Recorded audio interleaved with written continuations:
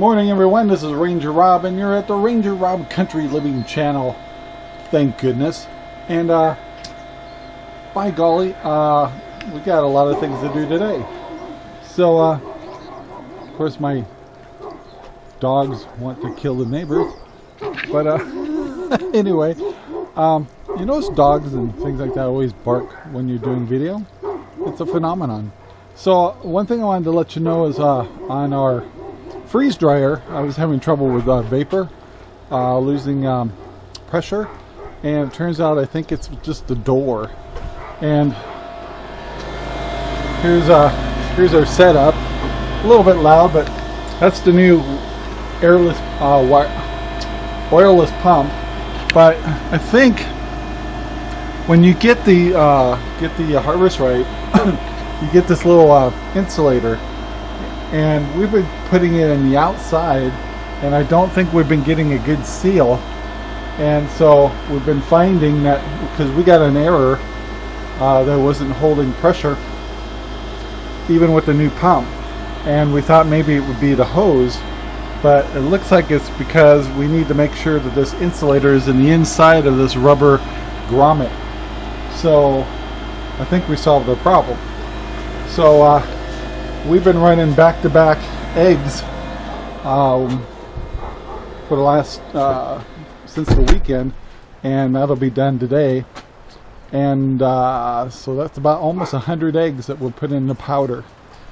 And uh, today it's windy again but it's a pretty day.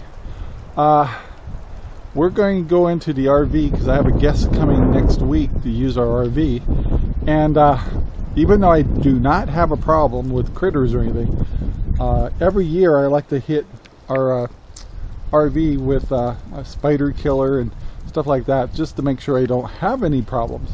So to do that, it's um, I'm gonna have to wear a mask, uh, and it takes a few days for the smell to go away, and then we'll we'll freshen it up. But uh, that way, it's just kind of make sure that we uh, are keeping a good care of our RV. But so I've found this particular brand to work really, really good around here. So uh, we're gonna go do that. I'm uh, I gotta get a mask to do this. And the other thing is when we get food for the dogs, they eat wet food uh, at dinner time. And so I can see in the front gate that there's a, uh, let me come around here, that there's a big old box and it's a Chewy box and so the dogs are always happy to see the Chewy boxes. So anyway we're going to go out to the fifth wheel spray her down good. Uh, I'm not going to videotape that it's not that much fun. And uh, then we're going to go into the greenhouse and show you what we're doing with the uh, aerators. Okay guys we got that uh, spraying all done. Eyes are watering. No matter even with a mask I end up kind of coughing a lot. Um, but it's really a good way to make sure that the fifth wheel's uh, protected from critters. So you do what you got to do. Anyway, sorry about the wind. Let's go to the greenhouse. We are in the greenhouse now, and uh, I've installed uh, almost all the aerators. This is what they look like. They're uh, air stones, and uh, I actually want four per tank. Right now, I'm three. I'm waiting for some more to come in uh, from shipment. Down here is a commercial, gonna move puppies, a commercial uh, air pump with uh, six valves. And uh, what I'm doing is I'm only using one, two uh, valves per tank. And then I'm putting a splitter on these, but I want four total. And still waiting for the other one. He'll be here soon. And uh, I think I just made a big water trough for the dog. But uh, anyway aeration's important if you're doing the floating rafts. If you're doing the above uh, uh, I don't know what the right name is for that. Anyway if the water if you have it on the top your uh, your board and the water drops you get air an air pocket and that's what gives the plants uh, oxygen. But if they're in a floating raft, the way they'll get their oxygen is through the aerators. And the reason I want to do floating is because you can do variations on different plants. Uh, we've seen uh, experiments where if you have the above board type and you have one plant that takes more water than the other plants, uh, you'll have some problems. And so we decided to go with floating rafts. And we can change it if some reason we didn't have power or something. We could go back to uh, the, the other technique. So uh, yeah, the aerators are in. They're ready to go. Uh, I am going to add one more stone uh, to both tanks, but yeah, we're so ready to go here. We just need plants, and we need it to warm up a little bit. It was still, let's see, we're starting to get out of the freezing temperatures. So yesterday, it uh, cold got as cold as 39 degrees. It's 80 degrees in here right now, and uh, believe me, it gets hotter. But we have the the vents open. Anyway, uh, once we see it consistent, uh, staying out of the freezing temperatures, and yes, I do have a heater if I want to use it, and see if I can keep this above freezing at night. And once I get the word I got it, I can actually start running this. Uh, the last thing I got to do is, I like to do it before I get the plants in, is put in some eye bolts in here so I can get stringers set up. And I was going to use cable, but I'm kind of like, looked at the expense of cable. I think I'm just going to use baling wire, but I'm going to use a tightener on each end and uh, save myself a little bit of money. So anyway, guys, that's what's going on in the greenhouse. And uh, I think today I may plant some more potatoes and uh, see what else comes up today. One other project we have going here, it's kind of a little bit at a time, is we're cleaning out the pond um, and pulling out the leaves and stuff like that. And uh, just doing a little bit at a time because we do have fish in here and we don't want to churn it up too much.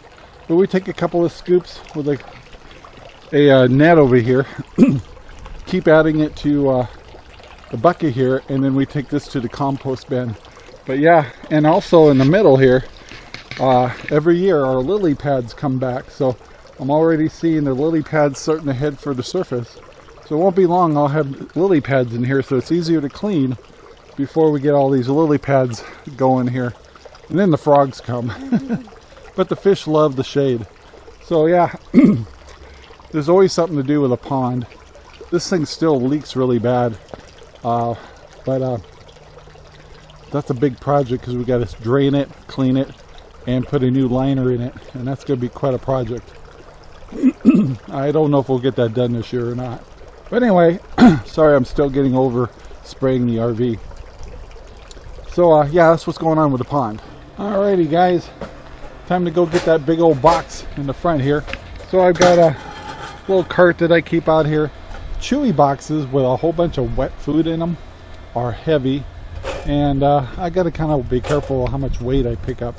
So we're going to go grab those right now. It appears that somebody's anxious for me to get that box. Is that for you? Is that for you? Or is it for you? Alright, there's the Chewy box. Trust me, it weighs a lot. There we go. I always keep uh, quite a few cases of spare wet food for the dogs. Um, just in case we can't get it. anyway, and uh, this is all wet food. They eat dry food in the morning, a little cup, and a little cup at night.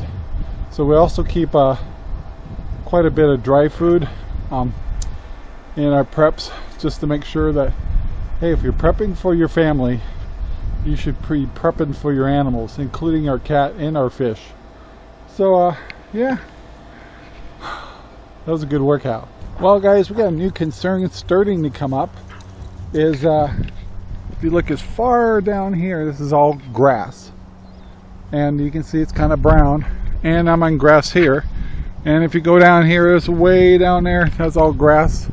And there's grass in the center and also by the pond. So what's the dilemma? One is uh, I'm also start I'm actually seeing dandelions already but it's getting time to uh, either turn on Oops, sorry about the wind. I'll block it here a little bit.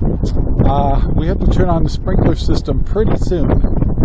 Uh, but when we do that I pointed out several times that the water systems around the house I need to fix up and uh, either shut them off or modify them so they'll work with the system. And two is I want to run weed and feed on all this grass. In order to do that, sorry about the wind, um, I'm going to use weed and feed, uh, 50 pound bags. I'm guessing I'm going to use about 200 pounds. That stuff's like $50 a, bag. So uh, I'm not seeing any big sales on weed and feed right now, but uh, sometime in the next week or two, I've got to buy at least 200 pounds of that stuff. And uh, I wish I had an automatic spreader, but uh, we're going to have to uh, do a push cart through all of these to uh, get it the weed and feed in there. Once I do that, within a week or so, I'll turn on the water system. And uh, that's where we get our lush green grass. And uh, right now you can see all the spots where the dogs have hit it. Um, but yeah, it'll look beautiful this summer. So uh, kind of keep your heads up on how we're going to address that. And the other problem we get is in our gravel, we get a lot of grass and uh, cheat grass. And it's the one time that I use chemicals um, where I've got to pull out my Ghostbuster outfit and hit this with weed killer. Otherwise, uh, it'll just take over and it's a good time to also start doing that and that's probably within a week or so uh, before the cheatgrass starts getting out of control. So yeah um, thought I'd share that with you because that's something coming up in the uh, later in a few weeks. But yeah you can see we've got lots of grass here. Everything's kind of brown but they're showing signs that the grass is starting to be stimulated by by spring.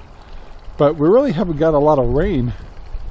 So I may be turning on the water system a little earlier this year just to start getting water to this grass. So anyway, this is a concern coming up. I thought I'd share that with you. Hi guys, I uh, thought I'd do a quick update on my tomatoes.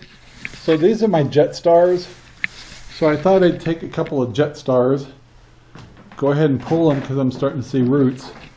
And I put them in bigger jars with uh, vermiculite and with a nutrient solution of re really weak. And uh, I don't know if it's too soon, but I need the space uh, to see how they do. So kind of an experiment. Uh, the jet stars have been moved to bigger pots and with a very light nutrient uh, base and the vermiculite holds uh, moisture really well. So we'll see how that goes. Also, I got um, four more potato bags done. Four of uh, three of them are Yukon Golds, and one's russet. And we're going to put these out in the greenhouse and get some water and nutrients on them. All right, so uh, I've got the uh, potato bags in here.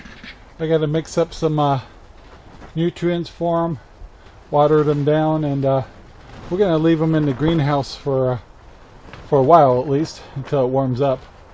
And yeah, uh, I've never grown potatoes before. Uh, we'll see how it goes. Just to show you what my starter uh, potatoes look like. Uh, these are some more russet potatoes. Uh, I didn't have enough bags. Got to order more. I'm not going to Home Depot. But yeah, so yeah, we, we got things going on here. Still a little early in the season, but we're going to see what happens. Hi guys, just to follow up on uh, potatoes I just planted. I'm putting five gallons together of the master blend. And so uh, I'm going to mix all this up, uh, just doing five gallons worth. And then take it over to the greenhouse and I'll use this for the uh, different potato plants.